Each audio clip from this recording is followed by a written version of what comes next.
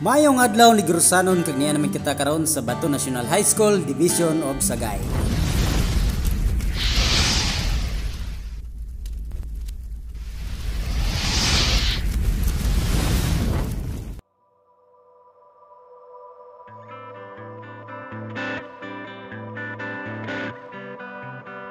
Mayong adlaw sa liwat, kagyari naman kita sa another episode nga kung sa diin atuwa namang suruyon ang palibot sa Bato National High School. So tara guys, enjoy!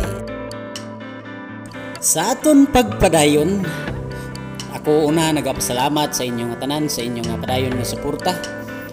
Kag sa sini nga video gihimo ko lang ni para ma-recall ang inyong mga memories nga I know nga dili gid ninyo makalimtan sa panahon nga elementary pa mo hangtod nga nag high school. Nga kung sa diin kinahanglan nato mo escape sa klase para magpangusang tubo maga basketball kag sa panahon nga magulan yari guys ang lapad nga playground nga kung sa diin pwede ta magtampisaw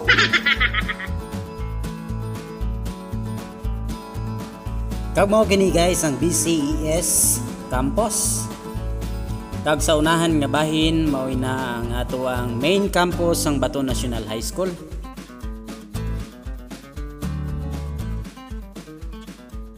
Ingon nila high school life is the best. Mutuo ba ka?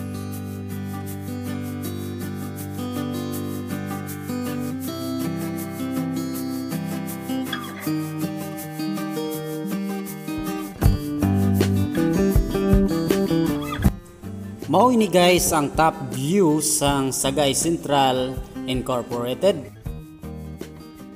Kung inyo manotice guys ang atong palibot na puno sa tanom nga tubo tungod kay ang Negros Island isa sa pinakadako nga contribution sa pagproduce sang kalamay. Shoutout sa tuwang mga kaupdanan sa Bato National High School kag sa aton mga abyan kag mga amigo